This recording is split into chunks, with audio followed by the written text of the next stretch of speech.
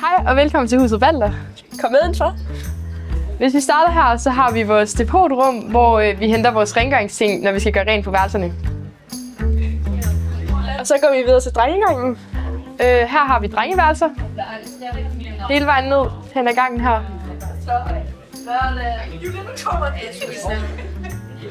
Så kommer vi ind i fællesstuen, hvor øh, vi har fællesmor og husmor. Ja. Ja, Og der hygger vi os.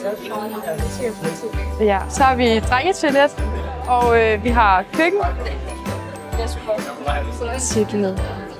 Og her, der har vi også vores øh, pigetoilet, som vi også har sådan andet og sådan det her. Ja. Og der er det så pigegangen.